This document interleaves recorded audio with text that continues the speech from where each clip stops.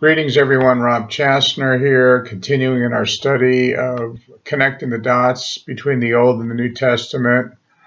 Um, and we started at Genesis, and that's what we're what we're doing. We're connecting the dots, and um, this helps us to know that everything, uh, everyone can be confident in the fact that the Bible is true.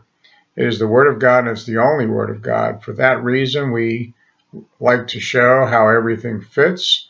And so in Acts chapter 3, which is just a little bit of a review, um, um, Peter is ending up in his second message after Pentecost. Everything is still concerned with, uh, everything is, is still concerned with the temple and all the covenant promises made to Israel. Now Peter is ending up with his second message after Pentecost and already a few weeks have gone by, um, maybe even a few months. And so in Acts chapter 3, verse 24, yea, and all the prophets. Well, now, if you're a Bible student, what's that referring to? That's referring to the Old Testament.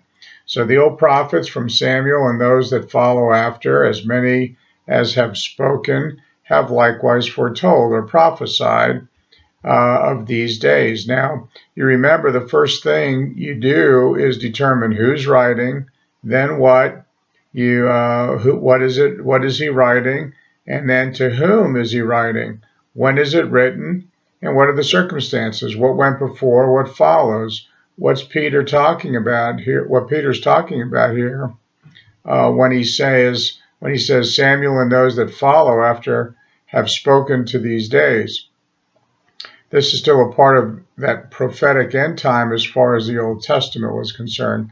Now, um, all right, so you, uh, verse 25, you are the children of prophets. They were the they were the ones of to whom all the Old Testament prophets wrote. Um, you know, and they started with Samuel. Now, who was the next uh, great prophet? That would be David, and then uh, Solomon. Uh, you know, Solomon got his words in the in with Ecclesiastes and so forth. Then uh, you start with the major prophets. You've got Jeremiah, you've got um, Isaiah, Ezekiel, Daniel. Then those uh, 12 minor prophets, all of them writing pretty much on the same level, prophesying this glorious earthly kingdom that God's going to give to Israel. So all of the word uh, from Samuel through uh, where we get to Peter here, um, this time uh, is how Israel was being admonished to look for that glorious kingdom. Um, but from the vantage point, they rejected it. So that whole program had to be laid aside. And so, uh, as we're going to see, God brought uh, this other dispensation in through the Apostle Paul uh, which we call the Age of Grace. It is totally unknown to the prophets. They never once said one word concerning the Gentile Age of Grace. Their writings were all directed to Israel and Israel's coming king. Now, in Acts chapter 3, verse 25, ye are the children of the prophets and um, uh, and of the covenant. Now, um, I did uh, a whole series of Bible studies on the covenants of the Bible, which you can find on my YouTube channel if that's of interest. So again, you are the children of the prophets and the covenant which God made with the fathers, saying unto Abraham, that would be back in Genesis 12, and in thy seed, in other words, the offspring, shall all the kindreds of the earth be blessed. Well, who was included in the seed uh, of Abraham? That would be Jesus Christ. Um, we have that accounting, uh, of course, in Matthew chapter 1 and Luke chapter 3. Um, so, unto you first, God, verse 26. Now, remember uh, our rule of Bible study. Who, who, is, who is he talking to? Okay, he's talking to Israel, the Jewish people. So, unto you Jews first, that's what it all, where it all started. Having raised up his son Jesus after they rejected him and as Peter says in chapter 2, they killed him, but God raised him from the dead. So the king is still alive. He's still going to fulfill the prophecies. That's the whole thrust of the early chapters of, of, um, of Acts. uh, that the one they killed was alive and that he could still fulfill the promises. So God, having raised up his son Jesus, sent to him uh, to bless you in turning away every one of you from his iniquities. So God expects the whole nation to respond before he could actually fulfill the promises, but they didn't. Only a very small percentage did. But on the other hand, when the next apostle comes, he never tells Paul, you're going to go out and win them all. You're going to have some, it says. It's a remnant. And that's the way we are today. God is just calling out one here and one there. And uh, it's the way of Christianity, uh, the way it's uh, unfolded. It's not the multitudes. Uh, it's it's a remnant. Now, continuing on with Peter and Jerusalem believers, uh, let's look at chapter 4, starting in verse 32. Uh, and the multitude, now that indicates a fairly large number of people, the multitude of them that believed. Now you stop and think for a moment. Believed what for salvation? That Christ died for their sins and rose again? No, that's not that's not what was was preached to the Jews. It was only that was preached to the Gentiles in 1 Corinthians chapter 15. But to believe on him, on his name. And so they're believing on his name uh, that he is the promised Messiah. Uh, and the multitude of them that believed were of one heart and one uh, one soul. Neither said any of them that ought uh, of the of things which he possessed was on his own, but they had all things common. Now stop and think. You've got multitudes of people, and as we saw in our previous studies, they've come from every corner of that then known earth, you know, Far East, uh, Europe, Asia Minor, Great Britain, North Africa, all the civilized nations of the Roman Empire. And these Jews have been coming from all corners of the Roman Empire. They literally filled up Jerusalem, but most of them evidently stayed and did not go back. And why? Because they believed that Jesus' return would happen within their lifetime, maybe within the next weeks or months. Neither said any of them that aught of the things which he possessed was his own, but they had all things common. So this was a pure commune, or there's like communism, but it wasn't in the evil side, but it was more in the, a righteous kind of communism. It was a commune kind of living. Nobody was claiming anything more than their neighbors. They all pulled their pooled their resources, and uh, they were living in a common on common wealth that had been accumulated by all the members. Um, now you have to remember if you've got multitudes, thousands, because 3,000 were saved on the day of Pentecost, and every day from then on, multitudes were coming upon salvation. Were they were all glued together in Jerusalem, and now uh, these people are pulling their resources. And then look what it says, uh, verse 33. And with great power gave the apostles witness of the resurrection of the Lord Jesus.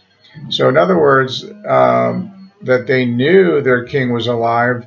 There's no salvation attached to it. That's where people miss the boat. Peter never says, believe that Jesus died for your sins and rose again. Uh, that was not a Jewish thing. That was the, that was later on from from Paul. Peter says that the one you've killed is alive, and we he will yet come and bring in the kingdom. That's not hard to understand, and you can look for it and check me out. You won't find it associated with their salvation. It was merely the uh, emphatic fact that Jesus was alive and he is the promised Messiah. So, verse 33 and, and 34, and uh, with great power gave the apostle the apostles witness of the resurrection of Jesus Christ, uh, and great grace upon them all. So, in other words, the blessings were just flowing on this congregation of Jews in Jerusalem. Verse 34 Neither were there any among them that lacked. Uh, so nobody was hungry, nobody was without food or shelter, for as many as possessed the lands of houses. So what did they what what did they do with them? You know, you, you, they they turned they turned all of their homes in their wherever they were raised in the dispersion and they turned it into cash and they brought the cash to the feet of the apostles. and they and so they all pooled their money, and they were lacking for nothing. You know, for as many as the possessors of land or houses sold them, and they brought the price of those things, they were sold. You know, see, it's very clear language. And laid them down the, the apostles' feet, and, distri- and, the, and distribution was made to every man according to his needs. Um, so that means that if you had a household of six, you'd get more than a household of two. And so, verse 36 in Joseph, Joe, uh, Joses, um, I'm not sure how to pronounce that, who, who by the apostles was named Barnabas, uh, who, um, being interpreted, the son of consolation, a Levite, in other words, he was a priest, the tribe of the priest, and of the country of Cyprus, or the island. Now, if you know geography, Cyprus has always been a rather productive piece of real estate. They've got beautiful vineyards and orchards, and Cyprus is a good place to own property. So if you own land, and so he owned some land uh, in the country of Cyprus. Verse 37, having land, he sold it, brought the money, and laid it on the, the apostles' feet. So do you think Barnabas was the only one that did that? They had Jews from all over North Africa, Italy, Greece, all over Asia Minor and Europe. Um, now, and the numbers are increasing. Let's look at chapter 5, Acts 5, verse 12. And by the hands of the apostles were many signs and wonders wrought among them. Uh, why were the 12 given the same signs and wonders that Jesus practiced? It was for the same purpose.